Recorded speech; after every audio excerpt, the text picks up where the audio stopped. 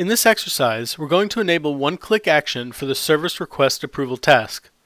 The one-click action feature for tasks enables end users to complete a task by clicking a link in the task's notification email.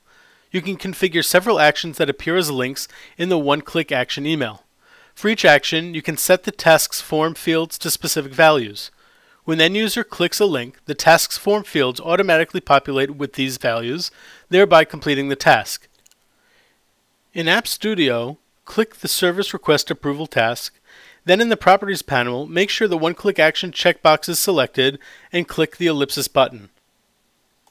Be aware that when you enable the one-click feature, you might cause a security breach. Make sure this feature complies with your organization's standards. Select a link expiration, which by default is 30 days.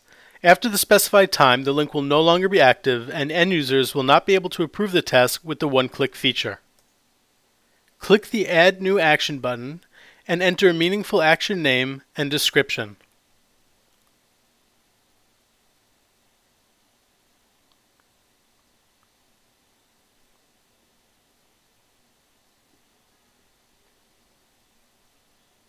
Then click Add Assignment. From the To drop-down menu, select Default View Approve and in the Value text box, type True. The task is now enabled for one-click action, and message recipients will be able to quickly approve the task directly from the message. As always, click Validate to make sure the feature you implemented is working correctly. Be sure to visit our Core Sequence Knowledge Center and our growing community.